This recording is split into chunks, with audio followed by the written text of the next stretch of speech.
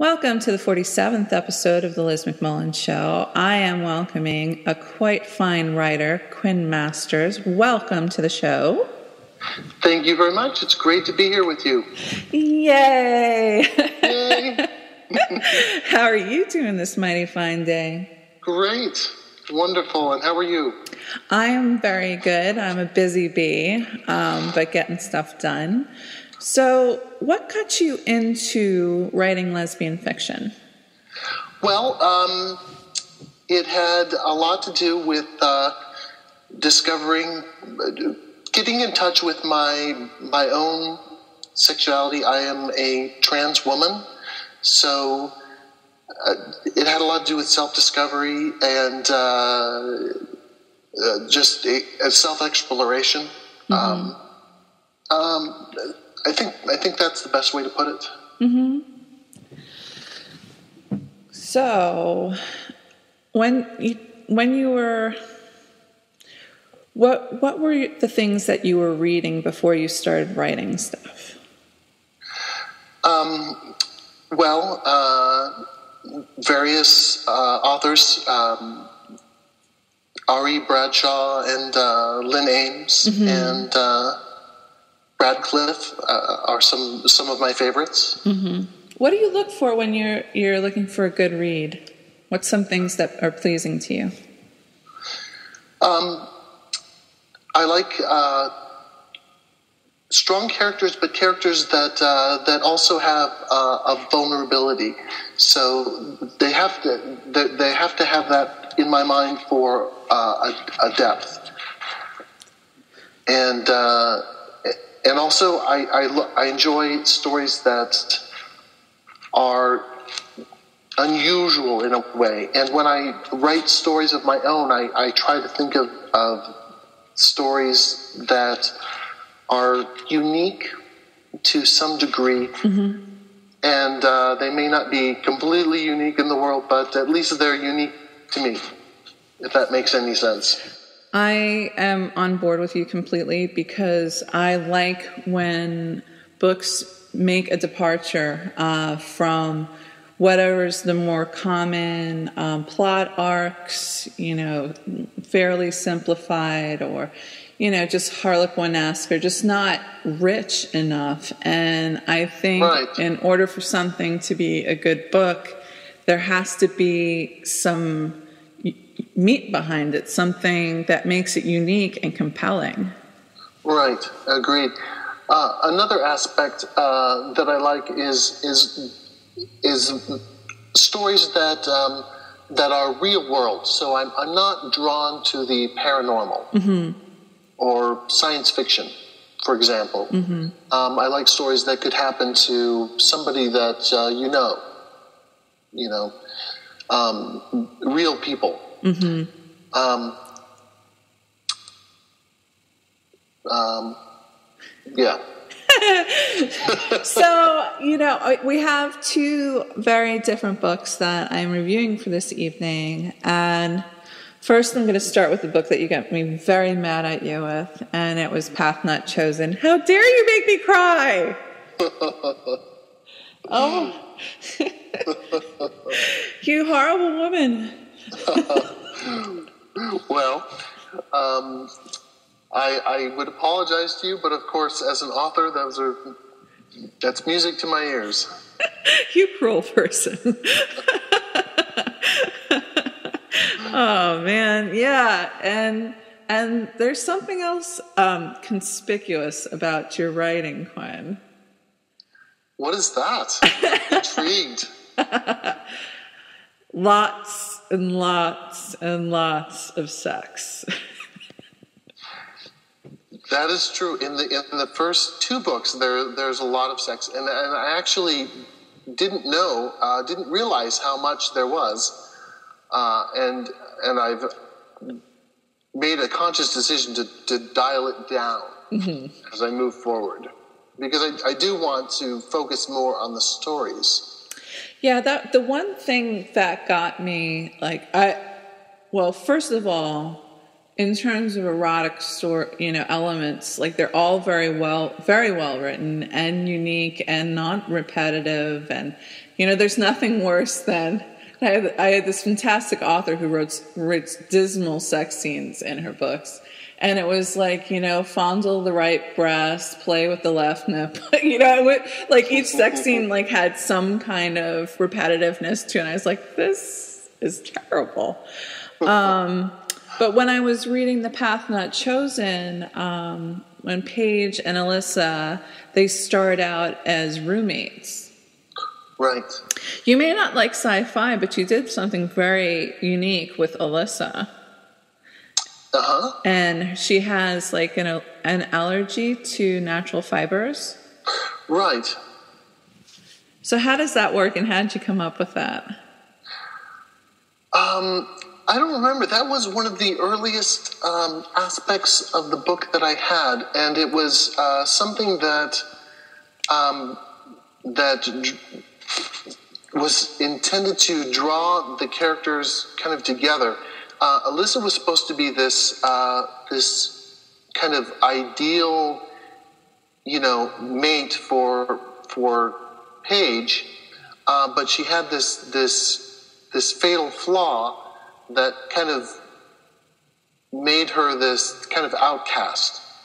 And I could, I, I was, I had this idea um, about about this this this allergy, and, and then I I actually decided that I really didn't like it. Mm-hmm.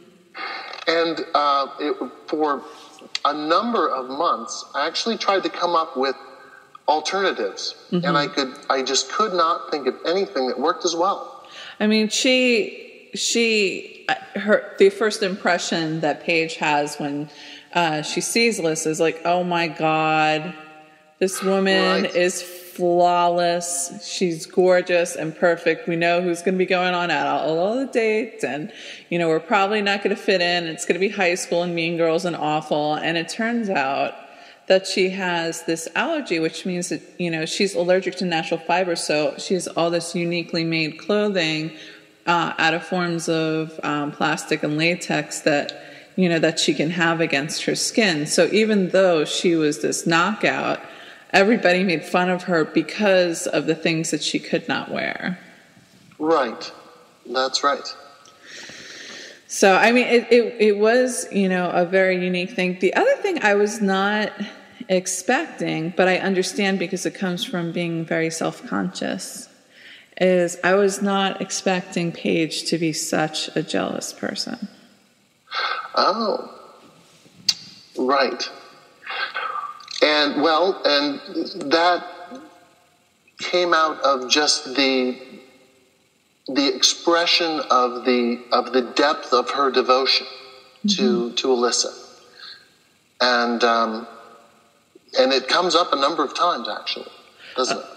A bunch of times, and you know, when I was first re- as I read it and was thinking about it, you know, I could I could the way you wrote it is you I could understand why she was getting jealous. And then now thinking back, you know, taking a step back, these are children. These are college kids.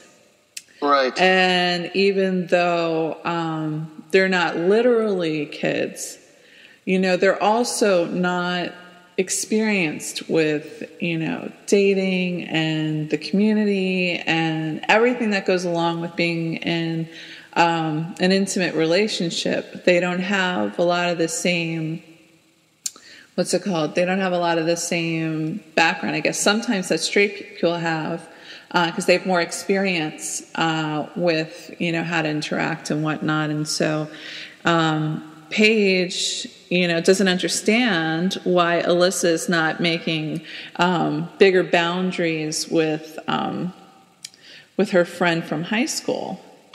Right. That's right. And with with the men that she meets. Yeah. So like with Greta, I was like, what the fuck? I was like, oh, you're gonna have private conversations off to the side, or you know, take the cell phone off to the side to talk, and and but at the same time, you know, there's a level of judgmentalness, I guess, because we get used to reading lesbian romances and we want people to act perfectly and, you know, uh, behave in a with a way of loyalty and and strength and whatnot. And I was like, well, you know, and trust. Exactly. Alyssa Yeah. could be somewhat ambivalent. She could be very much in love with Paige and not want to stray from Paige. But at the same time, you know, Greta's somebody that she knew from before. And there's something going on, even if she wasn't going to uh, cheat, there was something that was drawing her to that. And I was like, you know, not the best choices. And you could you could actually make people notice that um, we are a couple, and not like guys flirt with you and all that kind Right. of stuff. And I was just like, but you know, Alyssa, as mature as she is, she's still a kid. That's right, and they're both coming into their sexuality as well.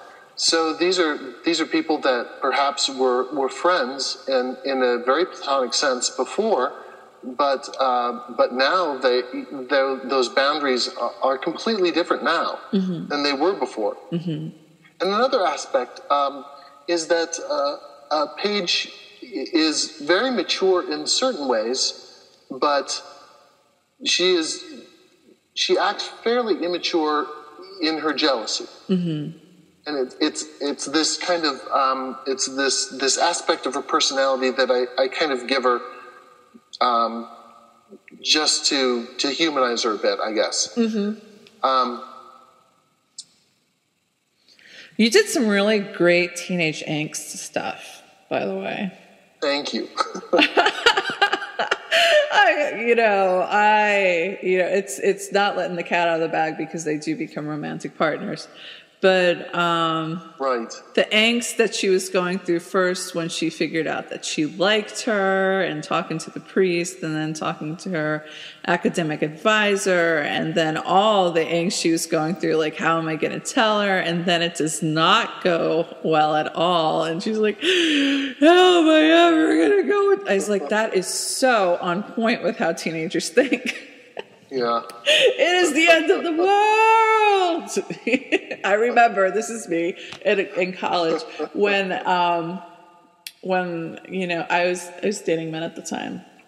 It was the first guy I was ever with, and I'm never gonna be. I love him, but I'm never gonna be with anybody ever again. Yeah. I was like, uh I think we can all relate to that to some degree. Yeah, and then I turned into a big old lesbian, and, and I certainly was not chaste in any way, shape, or form. I was like, I guess, huh? I guess it wasn't the end of the world now, was it? But when you're got those like adolescent hormones and all sorts of shit going on, it also makes you a little bit illogical too. I mean, even as adults you know, um, sexual attraction and and other kind of stuff and baggage and hangups and insecurities get in the way as well. But when you're you're a teenager or a college student, you're just learning how to be an adult. Never mind um, this other kind of stuff.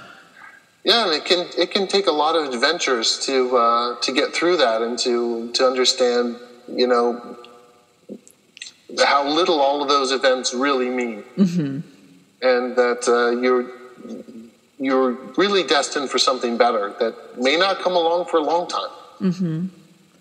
You know, I've only read two of your books, but I was I was wondering if it, it's true in others. At the end, you have either like an epilogue or you know a few chapters that really ties up a happy ending. Is is that some you know almost like a long term happy ending? Is that something that you often do in your books? it is. It's that's interesting. Uh, so. Um, it, it it was in this in my second book and then in my my third book i did not originally have that um, but it it became kind of a bone of contention. Um, i had some feedback that indicated that i really needed that. And so um, the, the the ending was rewritten uh, a few times, and uh, the final ending does have that. Although I don't feel that necessarily every book should, and I and I do have some stories planned uh, that certainly don't have it, and some that don't even necessarily end well. Yeah, and um, what I what I also thought was uh, well done. Um, there was a point where you dropped the bomb about the house that they're living in. That they Oh, decided yes. they decided, you know, that they needed off-campus housing, and you made a comment about, you know, if we knew what the house was going to mean, we wouldn't have stayed.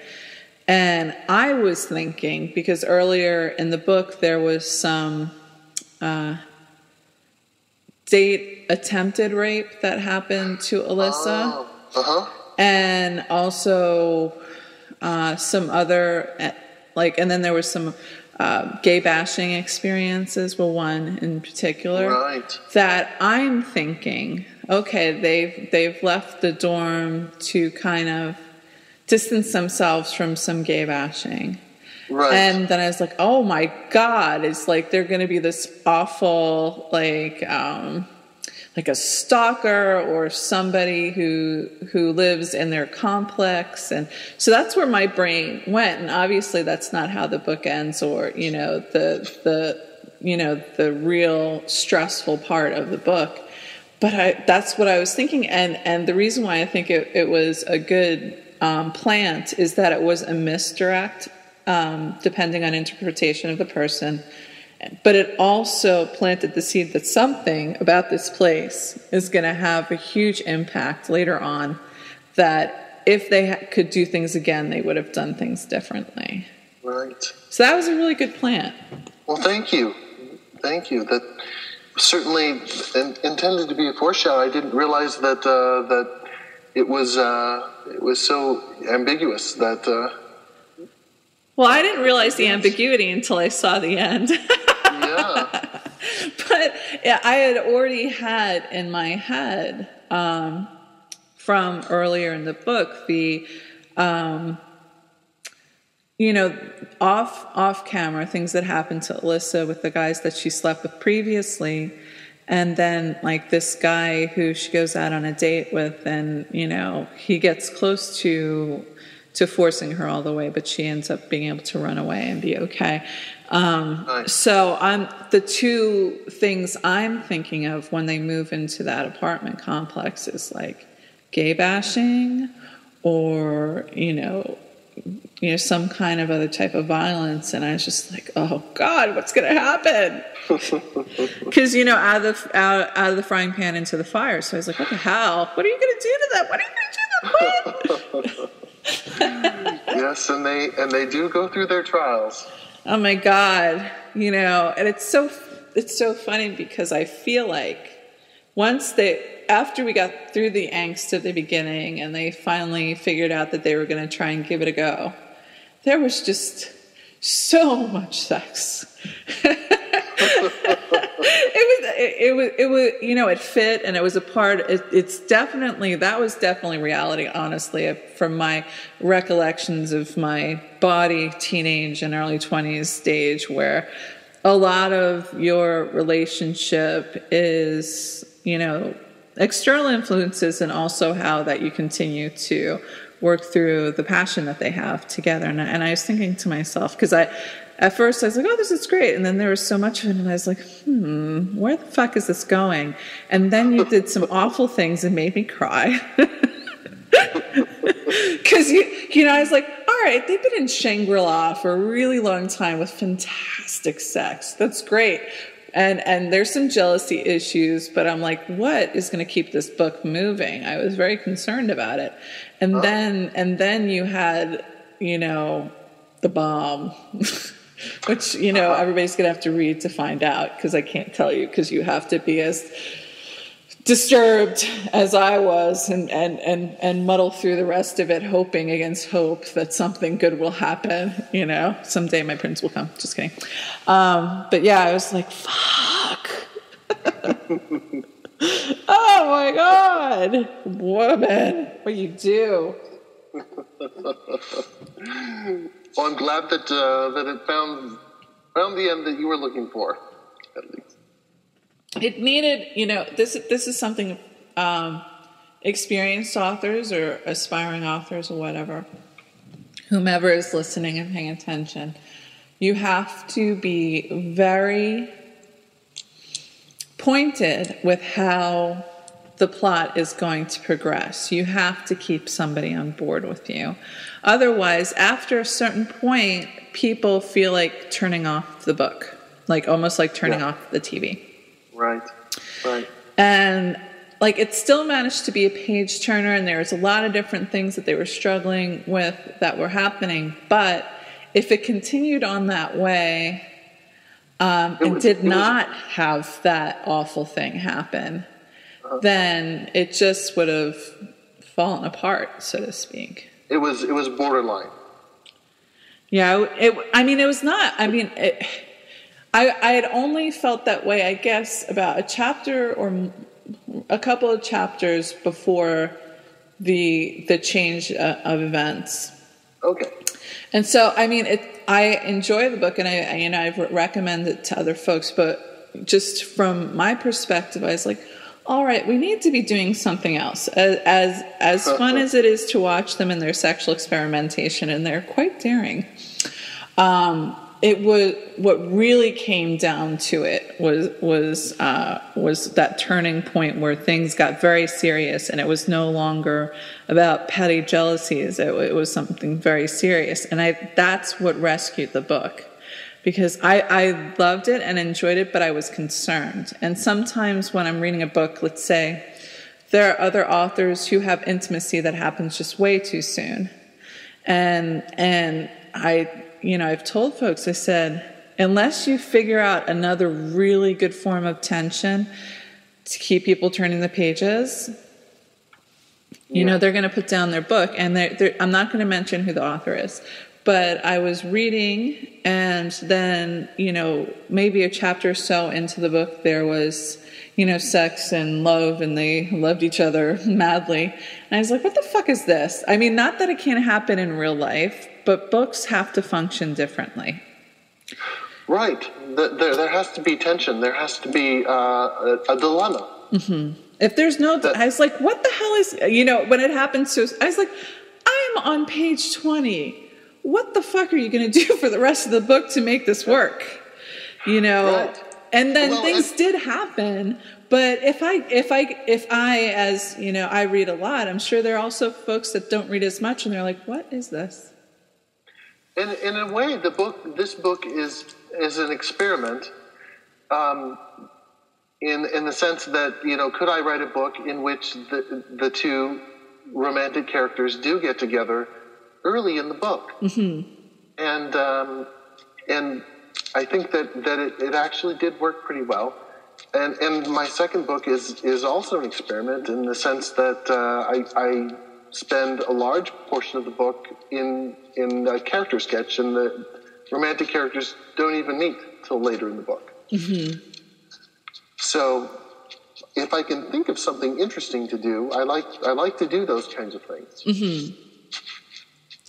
Yeah, it. you know, I what I I really liked about it because there's sometimes I don't I don't know what the the chemistry or or the right elements are, and I'll, I'll tell you what confuses the fuck out of me.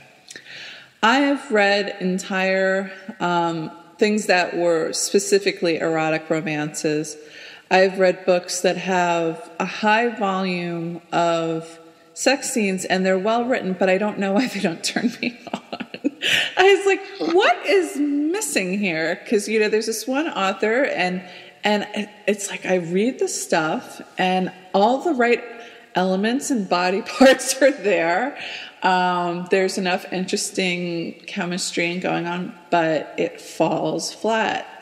And the opposite is true for yours. It's just like, you know, I, I'm surprised my husband made it through last night whole.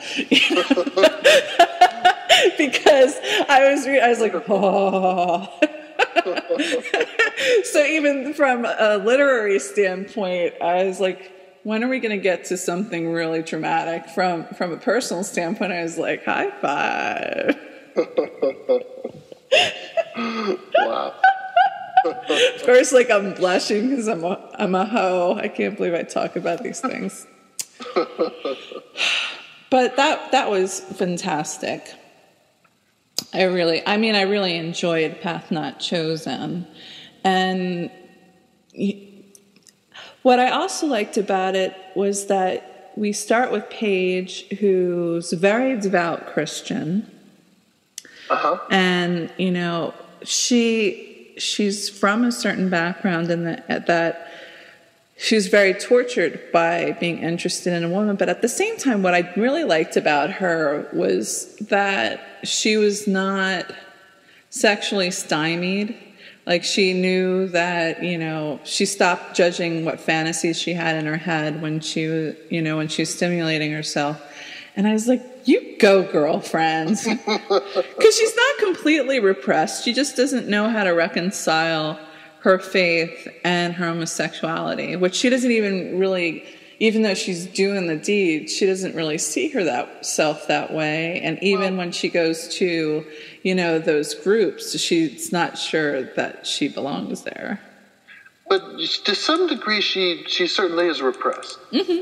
and uh, and uh, she's she's kind of been fr- from this background, and yet she comes into this university environment where she has these these new influences, which are more liberal and accepting, mm-hmm. and so she kind of walks this line as she's coming into her sexuality. So she has these two influences that you know you meet the the priest and the the professor, mm-hmm.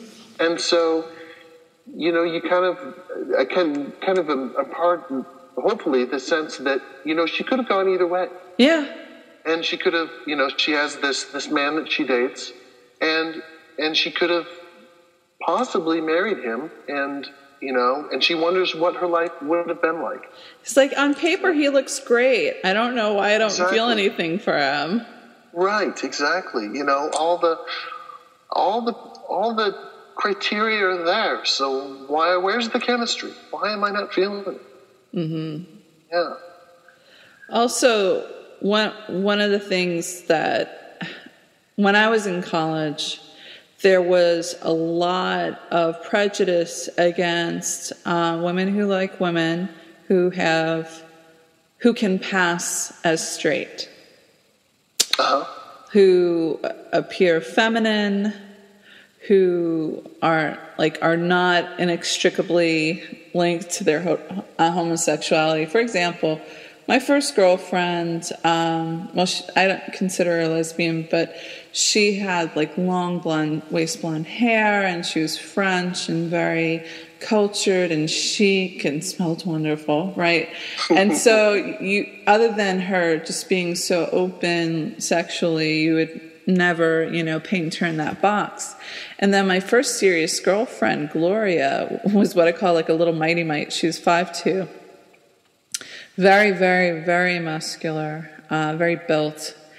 Um, but walking with her marked Uh-huh. me as a lesbian Okay. because she you can't there was no unlesbianing her she was like this little butch thing and there was just Yeah. no was like you know blaring bleedoo bleedoo you know and so for alyssa she's a knockout so it would never occur to these men that could, she could possibly not be batting for their team Right. Exactly. but what do you mean? I'm a lesbian. But what? This is my girlfriend. Oh, okay. This is my girl. you know, so I could see her. I could see why Paige would get frustrated and just like lay one kiss on her and stuff like that. Yeah. Yeah. And and and then it blows up. Kablooey. I know. Kablooey. so I, we're going to transition to Bridge Over Sorrows. So can you give me a little blurb about the story and then you're going to do a reading? Okay. Go ahead. Well, this is uh, it, it's a little bit tricky to uh, avoid uh, giving a spoiler here, but uh, because there is kind of a a, a, um, a mystery being woven. But essentially, this is a, a story about um, a, a young woman named Shanti, who um, is a, an Indian Canadian, and uh, she finds herself on the run from her family, who is pursuing her uh, because they uh, have betrothed her to a man that she does not want to marry uh, because she is uh, she is gay, and uh, so she finds herself um, um, uh, in a, a small town where she is discovered, and then she uh, ends up basically uh, um, in, a, in a situation where she uh, ends up getting lost in, in the woods and, and injured. Uh, and she is at the mercy of a, of a strange hermit. And the mystery is all about, uh, you know, who this person is and, and, uh, and um, kind of What brought them like this? The, the recluse is, is is Mati, and she she's like a mountain woman, I guess, and hasn't really spoken to anybody in quite some time, and is not comfortable having um, Shanti around. But Shanti has no choice; she's injured. And uh, she's they're too far from civilization for her to just easily you know, get to a hospital. So she has to convalesce and figure out how the heck she's going to get back. The reading that you're going to do, uh, from whose story are you going to be telling this brief intro? I will be telling the uh, the uh, story of uh, of Mati from the very beginning. Oasis. Black night was a peaceful dark that only remote wilderness could offer, illuminated by the dimmest starlight. The ambient chirps of crickets and croaks of frogs filled the meadow. I want to see them again. A light clicked on inside the tent. A groan. Really? I'm tired. We can sleep in. You always say that. Then you're always up at the crack of dawn. Mati dug beside her pillow and retrieved a strip of grayscale photos. She sat up, reaching over to the lamp which hung from the center of the tent. She attached the strip to a, to a clip on its underside. As she did so, her partner retreated to the far side of the double wide sleeping bag they shared, huddling her gaunt frame against the edge for heat. Ooh, it's cold. She rubbed her shoulders vigorously. Mati's exposed breast swung to and fro as she struggled to secure the paper, her rosy cheeks even more so in the cold air. Cheryl, peeking from the warmth of her sanctuary, said, You dork, that's not going to work. Sure enough, the light shone perpendicular to the paper and did not illuminate the images on it. Mati blew hair off her face in a show of frustration and turned upon the shoulder. Dork. Cheryl smiled, smiled sleepy eyes in victory. Mati removed the paper, held it behind the light, then examined the details. There's the face, she, she mumbled, pointing. You can see the nose behind the eyes. Even though they'd scrutinized the photos all day, Cheryl couldn't help but take interest. She looked up, but not enough to venture from her covers.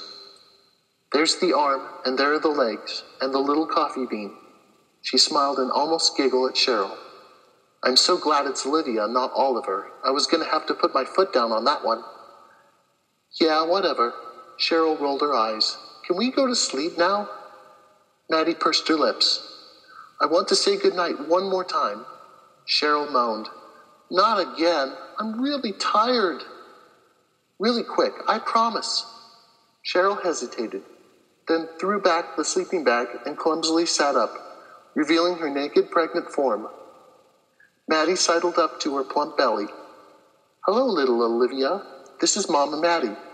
She placed her hand on Cheryl's belly and rubbed her cheeks against her taut flesh. Are you awake? What are you thinking in there? Pause. What kind of person are you going to be? What are you going to do when you grow up? Stop that. What? Stop talking like that, like she's already grown up and moving out. She's just a baby. Let her be a baby for a while. I just like imagining your life and all the things she might do someday. Mati sighed. Okay, I love you. Mama Cheryl loves you. Sleep tight, little baby. Oh, did you feel that? Yes, she kicked. Mati grinned like a kid on Christmas morning. That's only the second time for me. She's most active at night. That kick's a bonus. Cheryl paused to enjoy the delight in Mati's eyes as she waited in giddy expectation for another event. She smiled and rubbed Mati's hair. Is that good enough? Just one more minute. Maybe she'll kick again. Mati waited, then adjusted, adjusted her hand and waited some more. I'm cold already. Can we go to sleep? Cheryl slid back into the bag lying on her side, her back to Mati. You owe me some serious snuggling. Mati moved into position behind Cheryl's shivering body and pulled the bag snugly over them. You know it wouldn't be so bad if you didn't make me sleep in the nude. It's good for you, Mati protested. It's natural, and we can share body heat this way. Plus, it helps air out your muff at night. What? Cheryl laughed. I think you made that up that last part. No, it's true. You have no ulterior motive? In her privacy behind Cheryl's hair, Mati broke a wild, guilty smile. Is that so bad? This is nice, isn't it? Mati pulled Cheryl tightly against her. Despite her claims, Cheryl felt as warm as a toaster oven. Mati inserted her arm under Cheryl's side and held her pregnant belly. Her other hand roamed Cheryl's smooth leg, posterior hip, and came to rest on her breast. Her hand gently rounded, traced, and caressed Cheryl's soft, sensitive skin. Cheryl's deep breaths signaled to Mati that her advances were well appreciated. Turn out the light. Oh, right. The light clicked off again. Kissing joined frogs and crickets in nature's cacophony. Calamity. I want two. Get one and eat the carrots in the truck. Cheryl stared at the bag of chips calling to her from the rack. I know. I've been eating like crap lately. That's one of the reasons I took you on this trip. You mean kidnapped me. You've been hibernating. You need to get some exercise, get back to the mountains, and get some fresh air. No, I mean, I've been suffering withdrawal myself. I know. Okay, only one. She took the bag of chips and walked it to the counter with her Gatorade. Mati got trail mix and water. Mati threw the goods in the dirt, on the dirty truck seat and climbed into the ancient Ford F 100 next to Cheryl.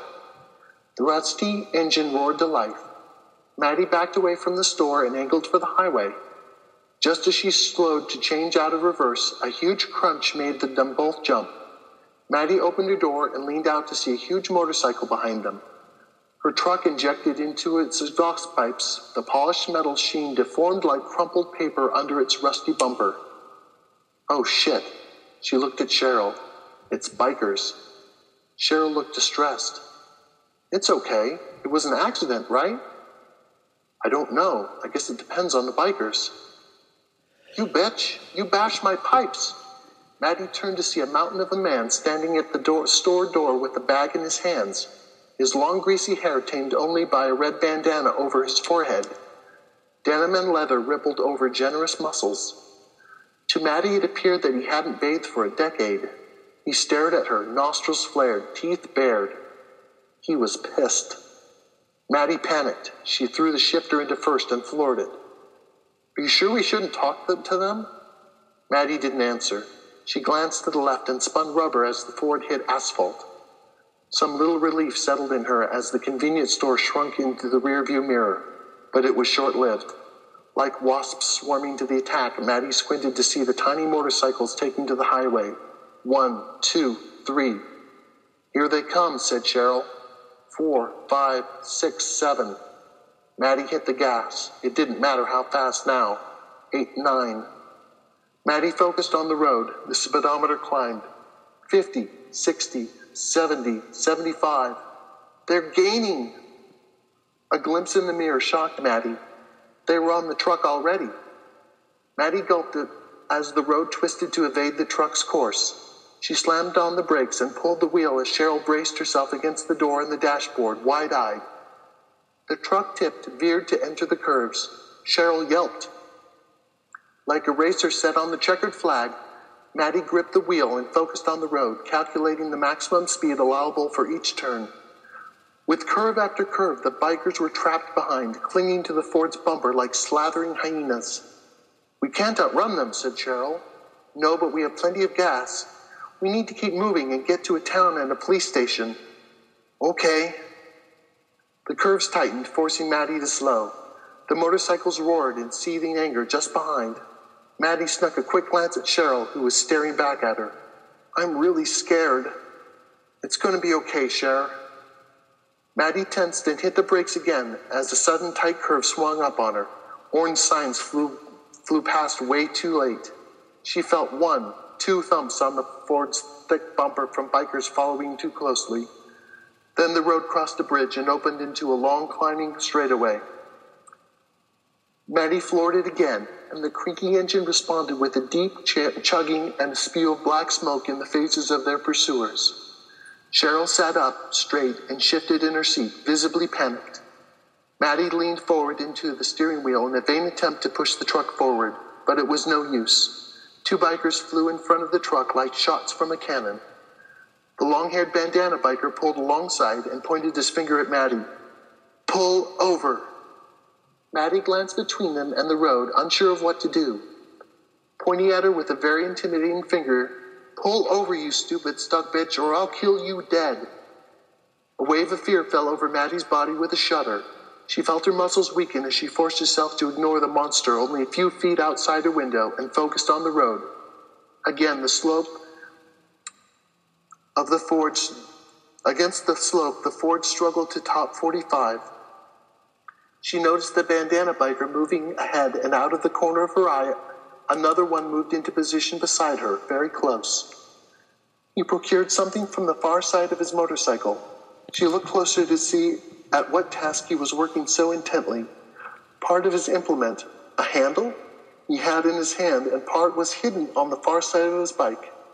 Suddenly, with a motion that could have only been honed over years of practice, he swung a chain with something heavy on the end over his bike, balancing all, so that its end, end weight struck Mati's windshield. The end weight broke through and shattered the glass in a spiderweb crack from end to end. Instinctively, Mati shrieked and flung her hands over her face. The steering wheel suddenly loose, the truck drifted to the right and off the highway. Mati uncovered her eyes. The glass had cracked, but not broken. She grabbed the wheel and tried to correct her trajectory. Mati turned the wheel hard left and pushed down on the gas, desperately trying to get the Ford to grip on the loose soil of the road shoulder. The whack of a mile marker flattened under the truck filled the cabin. At last, she fought her way back to the pavement. But at her sharp angle, the engine screaming. When the rubber hit the road, it connected and shot them across instantly. They flew through the air to the other side, then between trees until the Ford made a direct connection with a stout trunk and came to a sudden halt. Time seeped by in a blur. Mati felt the sticky of her arms rub against her face. Her head hurt dull. Breaths came slowly. There was a click and a metallic squeal somewhere. Then she felt an arm cross her. Then another click. Then a second arm joined to grip her body and heft her wholly into the air. Her arm felt, fell from her eyes, and she saw the bikers gather around the truck. She shuddered in fright. This one done it. The hands released her, and she hit the ground. This is the one that sliced my hog. The biker with the red bandana directed his fury at Mati. What do you got to say about that, bitch? Mati weakly lifted her bloodied hand to her brow and to shield the sun. She could see that Bandana was really expecting an answer. In a wobbly voice, she said, I'm sorry. It was an accident. Oh, it was an accident. He threw up his arms and scanned his comrades in mock agreement.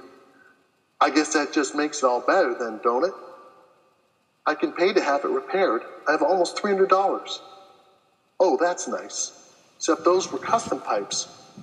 That plus the extra you did is going to cost me over 2500 Do you have that stashed in your rig there, bitch? I can get it. A pair of bikers carried Cheryl motionless from the far side of the truck and laid her on the ground. Mati's heart leapt from her chest at the sight. Cheryl was breathing and not too bloody. A quick survey gave Mati hope that there was no obvious broken bones or severe bruising but it was impossible to tell if there was any internal damage without a closer look. Would she lose their baby? Well, I'll tell you. I'll take you 300 as a down payment. And how's that sound? As it turns out, I got something. You got something else I might be interested in. Mati shielded her eyes against the sun again to see Bandana loosening his belt. One of the bikers was examining Cheryl. This one's pretty enough. No, you don't have to do this. Have to? Have to's got nothing to do with it, sister. You owe me debt, and that's got no way to pay it. I figure you're lucky you got something's worth offering. Otherwise, I'd be spilling your guts about now. The sound of the soft slaps drew Mati's attention to Cheryl. Biker was beginning to revive her. Come on, sweets, time to play. She was squirming to consciousness. A new level of fear welled up in Mati. Soon they'd be having their way with her sweet love, the mother of their baby. Tears of depression, of desperation broke from her eyes. Please, begged Mati, you don't have to do this. We'll do anything you want. Anything. Bandana squatted down to stare her in the face close enough for her to smell the chewing tobacco on his breath. He smiled wide. I know you will. Mati's fear turned to desperation. Her gaze darted around as if she were a cornered animal, but she could find no recourse. Please. Bandana laughed at her in the most sadistic, sinister, deep voice imaginable. Cheryl's biker laid his greasy hand on her pristine white shirt. Mati's hand found a fist sized stone and launched it between Bandana's legs, making perfect contact. The laughter stopped and his eyes went dim as all consciousness departed. His enormous weight fell limply backward. A shock on Mati's skull threw her to the dirt. You stupid fuck, you knocked her out. We can still have fun with this one. Aw, shit, man, she's fat. That's the end. That's it. So when I read that, I had my own little personal heart attack. And I was like, where is she going to go from here? and you don't actually find out for some time. No, exactly. And I was, I was, I just was like, wait, you have me crying, soppy mess, and horrified, and what the hell's going to happen next? And, uh, and then you flip into Shanti's situation. Um, but I was just like, uh. I'm glad I continued to read it. It, you know, a lot, it makes sense why um, Mati's so shut down. But uh, you know, I was worried that the book was going to be a downer, and it wasn't. It was it was something very different. It was unusual, um, but it it wasn't horrifying. It's like, how could I possibly read this book? But it, you know, it is worth reading. You just have to kind of push through. Well, it, I would say that um, it it definitely has a great deal of darkness, but it's balanced by a great deal of light. And and a resurgence, and there's also a mythological kind of connection as well. Yeah. Where did you come up with that? Well, um, it just evolved as as a kind of vehicle to the the evolution of, of the return, I guess. Mm-hmm. Um, so, what can you think, can you explain the mythology um, that you put into the book? Uh, the, the story. The story. Yeah. The, so the, the mythology is that um, is that there is this this kind of um, this this spirit that uh, is the spirit of the canyon that kind of guides these lost souls, mm-hmm. and uh, it, it's uh, a very a subtle involvement. Mm-hmm. Uh, so it, in in um, it essentially saves saves Mati's life and saves saves Shanti's life mm-hmm. in the beginning by guiding them into the wilderness to begin their their kind of rebirth, mm-hmm. and then also guides them in their in their kind of evolution and res- and resurfacing later later on. Mm-hmm. Um, and for Mati also acts as to some degree as her companion. Now it's a little bit unclear whether her her mumblings are her are an actual connection with the spirit or if she's just kind of gone a little crazy. Mm-hmm. Well, she And- hasn't seen a single person since she left civilization. And That's that's right. have you read other books or seen films where you found this concept appealing of, you know, ha- discovering somebody, a hermit, you know, who had been separate from the world and is is being tugged back, you know. Usually it's a curmudgeon kind of character. Have you seen things or read things before like that? I I hadn't actually.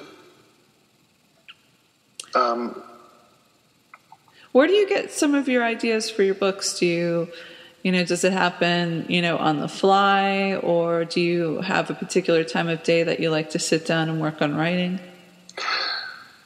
Well, um, actually, a, a, a lot of um, a lot of my writing occurs in odd hours on weekends and sometimes in the middle of the night uh, when I can't sleep. Mm-hmm. Um, a lot of my ideas, I, I like um, romances that occur in the midst of desperate situations or unusual circumstances. And, and Path is not one of those. But um, I have uh, a, series of, of books that I've, I've kind of outlined.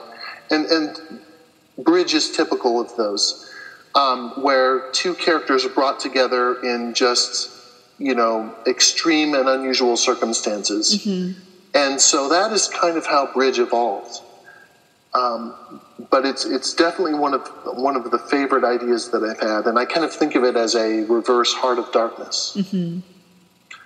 Um, but um, other other ones where uh, maybe the characters are going through some other tribulation or have some other history, and and that brings them to a place where where perhaps um, they they are in need of this relationship to bring them out of some other struggle. But the romance is an aspect of that that other story, if that makes sense. Does do you have? Um, well, we're we're in Halloween season, Is, and I know that you don't look for writing paranormal and whatnot. What kind of like things that you find do you find Halloween appealing? Um, I do, I do, but I'm, I'm more of an observer. Actually, um, my my wife has has been uh, is is an absolutely an avid bookworm, and uh, she's been very involved um, with my my stories, and uh, and I enjoy bouncing ideas off of her. And uh, and we did have an uh, we had talked through a few uh, Halloween themed ideas actually. Um, one of which was was simply uh, how dark of a, a protagonist could we find? Well, you know, I, I, you know, dark protagonists can be cool. I also have have been uh, attracted to an anti-hero. I'm a sucker for a redemption tale. huh? Uh, like, uh, let's see, one of my uh, favorite authors for that is Kim Baldwin. And um, she has some stories with mercenaries in them who, you know, they obviously, since they're guns for hire, they've done sketchy things and um, and some make some of the things that they've done make them feel, you know, unredeemable Ah, and unlovable yeah. and without hope.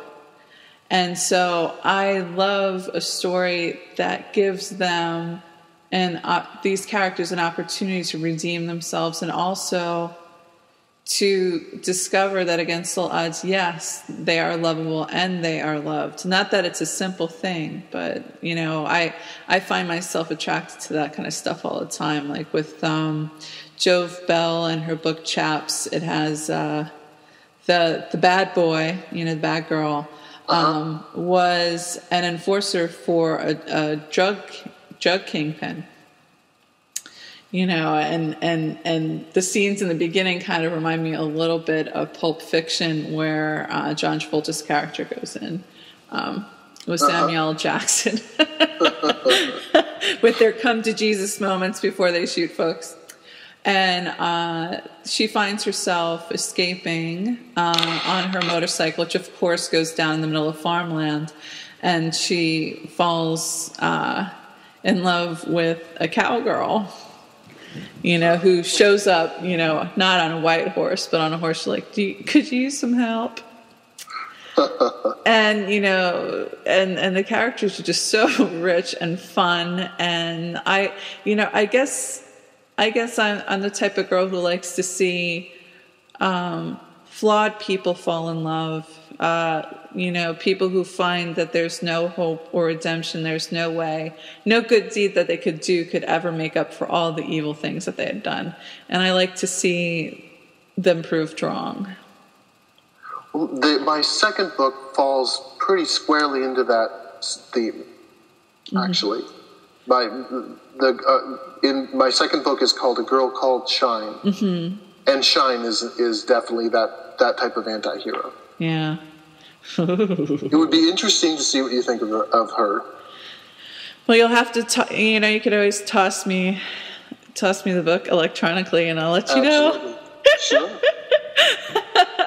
I've had, I am so excited and so pleased uh, to have you as a guest on my show. I've really enjoyed spending time with you. Me too. It's been an absolute delight.